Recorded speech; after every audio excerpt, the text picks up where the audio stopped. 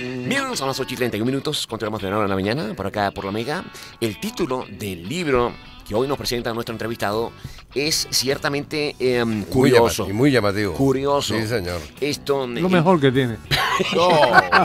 el libro Se lo digo yo. que reciente escribí. de Ibsen Martínez es Simpatía por King Kong. ¿Qué tal? ¿Qué tal? ¿Cómo están todos? ¿Cómo estás, Ibsen? Bien, muy bien. Bienvenido. Eh, simpatía. Gracias. por- no, no estás bienvenido. Este, este programa empezó muy mal para mí. Empezó con bienvenido, señor Martínez. El señor Stein lo espera.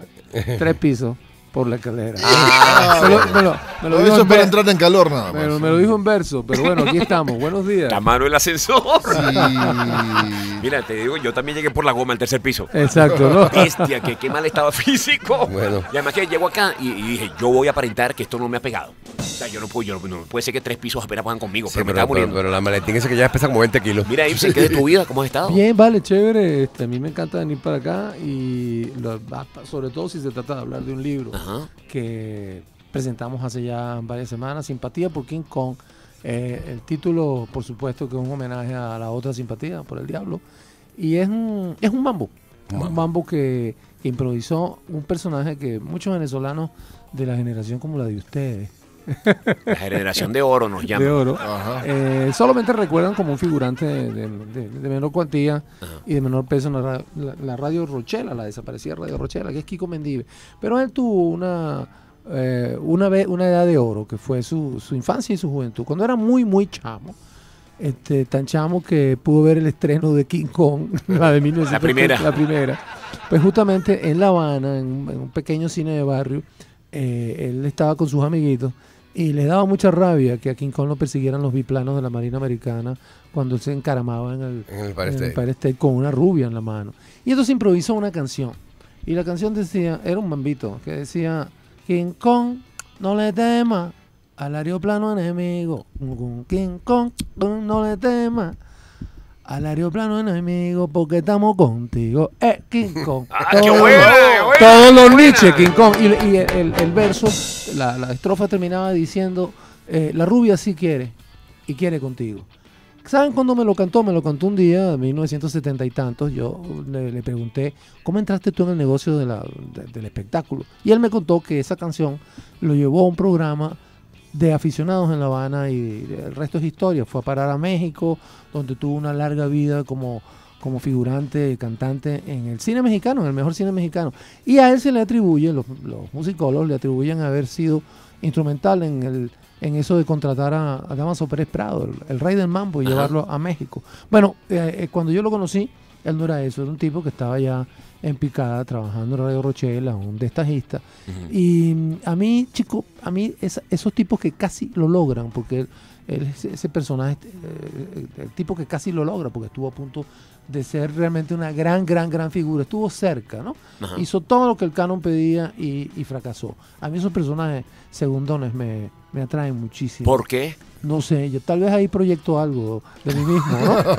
Pero, Oye, por ejemplo, y entre ahí- Humboldt y Pero si tú lo has logrado, chico, ¿qué te obra- pasa? Mi, eh, eh, mi primera obra de teatro eh, es sobre Bonpland, no sobre Humboldt, sino sobre Bonpland. Ajá. Y a mí, este, de- del lleneo solitario, lo que me interesa Es Toro. las opiniones de Toro. o sea, Claro, que el resultado en la Copa de Confederaciones te, te, te fascina, la España, la España de ayer. hombre, No, hombre. porque es que muchas veces... eh, Me siento terriblemente No, además, psicológicamente es interesante porque eh, muchas veces la, la fórmula de triunfo del héroe se basa en el gran apoyo y en el respaldo que tiene de esos segundones. pues. Sí, es. eh, eh, Sí, lo- bueno, lo que- pero más que nada en destruir al otro. Exactamente. Sí, eh, ¿no? eh, exacto. Yo creo que a él le faltó eh, instinto asesino. Bueno, Sí. en todo caso, eh, eh, mis amigos se cansaron de oírme escuchar esta canción cada vez que me echaban unos tragos y les contaba, ¿saben qué? Yo algún día voy a escribir una ¿Con qué novela. frecuencia sucede eso, ¿Ah? Ibsen?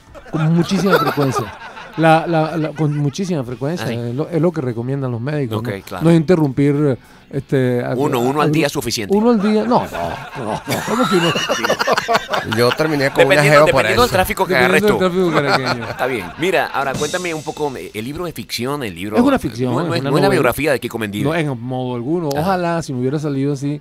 No, es un, es un relato, tal vez el más en el, el que más me ha, me ha entretenido escribirlo, porque era algo que, que me acompañó desde siempre. Eh, mm, y lo, lo publica el sello Planeta. Y Este- digamos, ¿qué otros personajes acompañan a, Pero espérate, Bueno, no, este- ya va. ¿De, de qué va el libro, Ah, el hombre? libro va de Ajá. contar por qué esa canción nunca se grabó. Y es realmente entretenido, porque en Cuba no lo logró, estuvo a punto de hacerlo en, en La Habana, que es parte de la leyenda que él se inventó. Kiko se inventó la leyenda de que Pérez Prado lo sacó de la carretera, ¿no? Este, porque iban a hacer una gran orquesta donde él iba a ser el solista, le salió entre medias una, una gira por América Latina y, y al parecer, según él lo contaba, Pérez Prado le dijo, no chico, ocúpate de eso, te, bueno, gánate esos pesos y cuando, Damaso, Pérez Prado. eh, cuando regreses grabamos, no, no, no, no te ocupes, no, no, no hay lucha con eso. Y este, bueno, él hizo su gira, 1948, estaba en un hotel en Panamá, este, de, de regreso a México y de repente oye en la radio, en un canal que había, tururu, tururu, tururu, tu, tu, tururu, eh, Eh. eh, qué rico el mambo. Entonces güey se acerca y le dice al tipo, oye, ¿qué es eso? Le dice, no, es un tipo, un cubano que está reventando la liga con una cosa que llaman el mambo. Cuando él llegó a México, y esa es la parte más entretenida del relato que hacía Kiko, él llamó a Pérez Prado y la conversación fue algo así como, oye, Damaso, ah, ¿qué hubo, Kiko? ¿Qué tal? Este, eh, ¿Y qué más? Aquí en la bobera. Oye, tenemos que hablar. Bueno, dime tú, no, dime tú, no, dime tú. Y, eh, y no, dime tú. Y este, quedaron en verse en un sitio y el tipo nunca se presentó. Esa era la leyenda que contaba Kiko y que eso lo había, le había roto el corazón y por eso había venido a Venezuela. Ah. Eso era lo que a mí en, en su relato me sonaba muy, muy raro. ¿Por qué Venezuela? ¿Por qué un destino tan chimbo? Ha podido irse a, a México Ajá. si se trataba de triunfar. Es esa vocación de perder, como dice Santiago Gamboa, el escritor colombiano. Perder es cuestión de método. Y él tenía el método, ¿no? Este, De alejarse de las posibilidades. Como Pastor de- Maldonado, Como mira. Pastor Maldonado. Quedó de 11. está- Llegó de 11. Eh, Salió de claro. 17 y quedó de 11.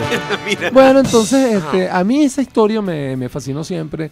Felizmente pude deshacerme de ella escribiendo un libro. Este, ha sido muy muy bien acogido, está entre los mejores vendidos. Me parece un- me parece una pésima experiencia este, esto de andar alabando mi propio queso como buen Pero lo estás haciendo muy bien. Pero lo estoy haciendo muy bien. Sí. Eh, compren mi libro, compren mi libro, compren mi libro, coño, compren mi libro. Mira, mira.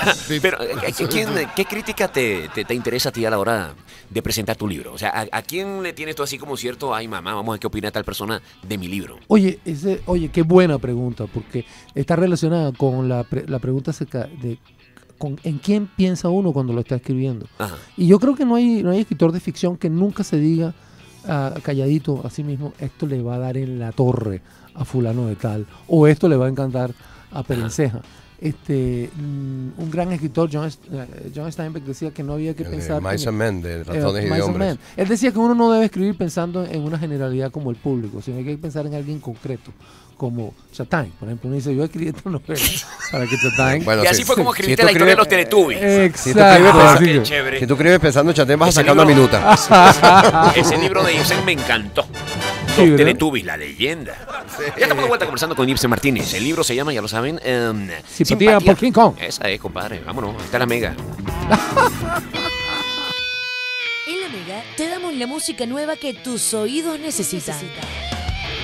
Directo del estudio a tu radio. Lanzamientos Mega, donde sea, sea. De Caracas, la movida acústica urbana y Nana Cadavieco. Rincón, Mariana Cadavieco, Rock. Yeah.